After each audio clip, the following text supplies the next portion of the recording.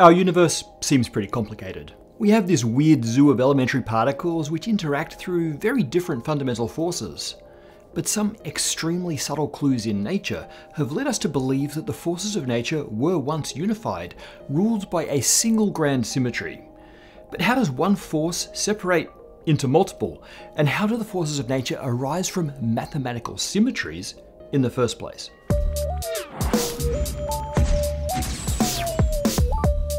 The best way to understand how the universe went from a simpler, more symmetric state to its current complicated condition is to look at the unification that we understand the best.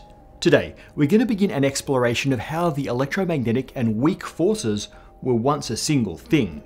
And this dive into electroweak unification will lead us inevitably to the Higgs field and to an understanding of how particles gain mass. Let's start with the mysterious and often misunderstood weak interaction. You may have heard that the weak force is responsible for some types of radioactive decay. That's not very satisfying, but it's how the weak force was first identified. Beta decay is when a neutron turns into a proton by emitting an electron and a neutrino.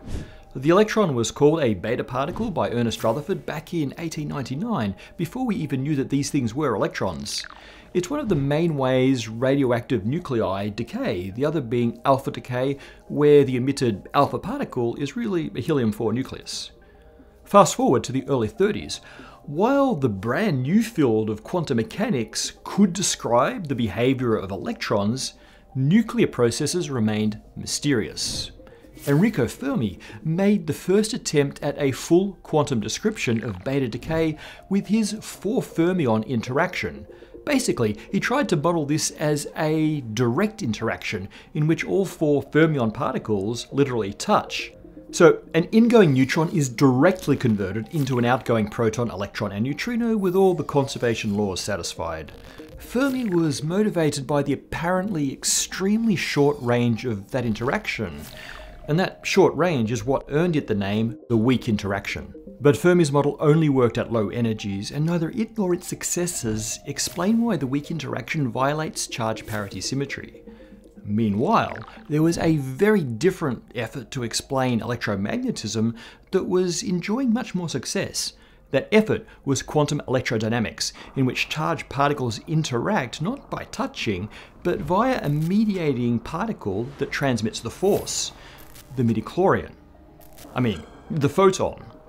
By the way, force mediating particles are bosons as opposed to the fermions that make up matter. QED is what we call a gauge theory. Its force carrying fields and particles arise from the symmetries of the quantum equations of motion, and we'll come back to that. In 1957, Julian Schwinger proposed a set of force mediating gauge bosons for the weak interaction. Given that the weak interaction could change a neutral particle into a pair of charged particles, this mediating particle must itself be charged. This was an early hint that somehow the electromagnetic force, which acts on charged particles, was playing a role here, although the involvement of the neutron and neutrino meant it couldn't be entirely electromagnetism. Not only that, but experiments at the time indicated that if they existed, these new weak bosons, W bosons, had to have mass due to the short range nature of the interaction, and quite a lot of mass in fact. The short range nature of those forces that have massive force carriers is usually attributed to the energy time uncertainty relation, and we've presented it that way previously, though as we'll discuss in a future episode, that is not the full story. Anyway, this new gauge theory of the weak interaction seemed to be okay with parity violation, and it wasn't only accurate at low energies. So, problem solved. Easy peasy, right? Well, not even close. That requirement of the W bosons having mass was an enormous theoretical headache.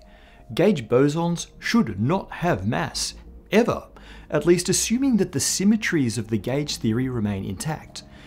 But as we'll see, the simple requirement that the weak force was mediated by massive particles ultimately unified the weak force with electromagnetism and revealed the existence of the Higgs particle.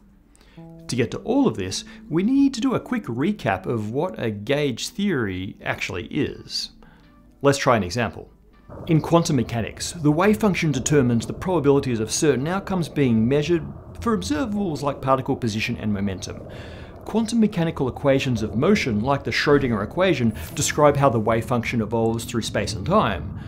Like all waves, the wave function has a phase, the current position of peaks and troughs, but that phase should be totally unobservable by any experiment. Phase is what we call a degree of freedom because it should be possible to change it however you like at any point in space and still get the same physical observables. For that to be the case, we need to add some stuff to the Schrödinger equation. That stuff turns out to describe the electromagnetic field, and when we quantize that field, when we let it oscillate with discrete packets of energy, we get the photon.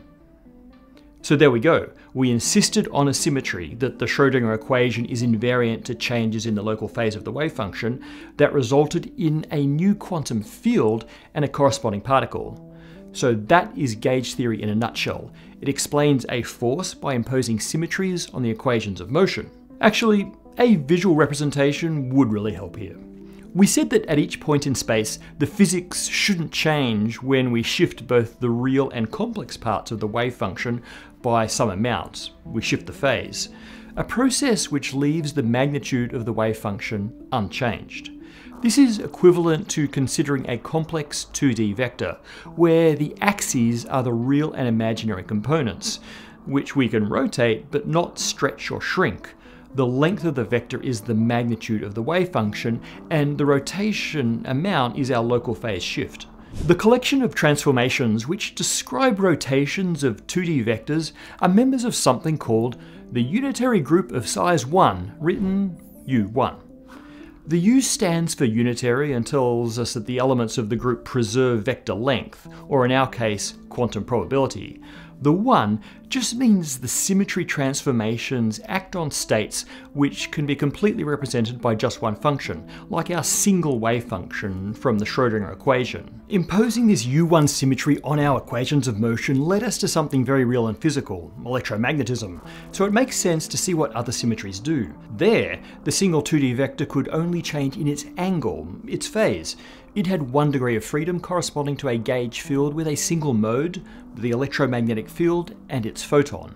In SU2, each individual vector can change length, rotate and be reflected, overall 8 degrees of freedom, but if we require this transformation to now respect SU2 symmetry, for example requiring unitarity, we knock out 5 degrees of freedom, leaving us with only 3. If we require our equations of motion to respect SU2, we have to introduce a new field with 3 degrees of freedom. Quantizing this field gives us three bosons, which are almost exactly what we need to make a gauge theory of the weak field work. Almost. The fields and corresponding particles produced by the pure symmetries we described are fundamentally massless. The bosons of the version of SU2 that I just described are simple light speed oscillations in their fields, just like photons. But the bosons of the weak force have to have mass. So, is this a bust? Well, maybe, but the whole gauge field thing seemed so promising. So it's worth asking, how can we give mass to something that seems fundamentally massless? The perfect masslessness of these gauge fields and bosons is a direct consequence of the perfect symmetries from which they come. Adding mass screws up those symmetries. For example, adding mass to a photon means adding an extra term to the electromagnetic field stuff in the Schrödinger equation so that it would no longer be invariant to local phase shifts. In order for the weak force bosons to have mass, we have to willingly break the symmetry that gave us them in the first place. But wouldn't that mean throwing away the core idea that gave us the weak field? Not necessarily. It's possible for the equations of motion describing a system to have a particular symmetry to not care about changes in some property, but at the same time, for the state of the system those equations describe to not have the same symmetry. That sounds counterintuitive, so let me give you an example.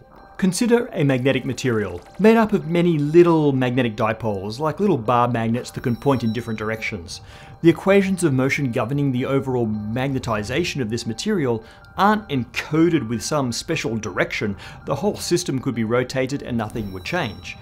This represents the symmetry in our equations. but the individual magnetic particles interact with each other. They want to align with their neighbours. At high enough temperatures, above the Curie temperature in this case, thermal energy causes the particles to rotate randomly, so the overall magnetization of the material is random. However, if we cool the material down, the interactions between magnetic particles can start to come into play. They align with each other. If we cool the system enough, all particles get frozen into one aligned state. This is a state of broken symmetry. Even though the equations of motion say one direction is not preferred to any other, the ground state has randomly picked out a single direction. We call this spontaneous symmetry breaking. So, what if something similar is happening with the field that gives us the weak force? Perhaps the equations of motion respect the symmetries that give us the necessary gauge field, but the physical system, the field itself, evolves into a state which no longer respects those symmetries. That could lead to our force carriers having mass. This has been an analogy heavy episode. Spinning vectors, magnetic materials, but what specifically is happening with the weak field? What is this symmetry, and what causes it to break? Or remember that I said that the weak interaction somehow seems to involve electromagnetism. That's another clue. It turns out that both the weak force and electromagnetism come from the breaking of a larger symmetry group. And actually, that larger symmetry group is just the combination of our U1 and SU2 symmetries. The combined SU2 cross SU1 symmetry is the electroweak field, and it has four massless bosons, like a well-behaved symmetry should. But at low temperatures, this symmetry is spontaneously broken, leaving an independent massless S1 field for the photon and a massive broken SU2 field that gives the massive weak force bosons. By the way, by Low temperature, I mean anything below around 10 to the power of 15 Kelvin. The entire universe was that hot when it was less than a trillionth of a second old. Back then, electromagnetism and photons and the weak force didn't exist. This was the electroweak era, and we can also produce these conditions in our particle accelerators. And in fact, we verified the whole electroweak thing with fantastic precision. Let's take a second to remember how we got here. We just asked what would happen if the equations of motion governing nature had certain symmetries. The very existence of those symmetries requires a family of fields and particles that we now observe in nature. But to really make this work, to give the weak force bosons their mass, we have to conclude that really these fields, these symmetries, are ultimately unified and then broken. As we'll see soon, by the Higgs field. But it doesn't stop there. The electroweak unification sets us on this grand quest to find deeper symmetries that could bring the strong nuclear force into the fold, allowing us to collect the full Pokemon evolution set of the standard model. U1 cross SU2 cross SU3, and from which arises the fantastically rich palette of particles and the complexity that they enable inevitable consequences from the broken symmetries of spacetime. Last time we talked about singularity theorems and how they show that the singularities at the heart of the black hole and at the Big Bang are inevitable if you follow only general relativity. Let's see what you had to say. The next host of Spacetime asks if physicists tend to be dubious about infinities, why are we then typically okay with the size of the universe being infinite? Well, I think this is a fair question. But there are different types of infinities, and some are seen as worse than others. The singularity type is considered a bad one. That's when some property blows up to infinite values, like the density or curvature at the center of a black hole. In the case of the black hole singularity or the singularity of the Big Bang, it's bad because it causes irreconciled conflicts with other physics, quantum theory in this case. An infinite universe doesn't have the same problem, and I guess it's often accepted because it's actually not much more philosophically satisfying to propose a finite universe. You can as well ask why does the universe stop where it does as you can ask why does it go on forever. But hold on to your unease. These are the intuitions that can lead us forward. Dr. Kres von Panzer asks how we know that two light rays inside a black hole converge and don't just perpetually pass each other. Well, really, this is the core of Penrose's proof. He showed that at least some light rays, null geodesics, that start out parallel from any trapped surface must converge in any positively curved spacetime. Not all of them necessarily converge, but you only need some to do so to get the singularity. In the case of the perfectly spherically symmetric inside of a Schwarzschild black hole, all of the geodesics do indeed converge. Wannabe technician says that if they became a general in the army, they would definitely change their last name to Relativity. That's a good one. But why wait? Start at Specialist Relativity and work your way up.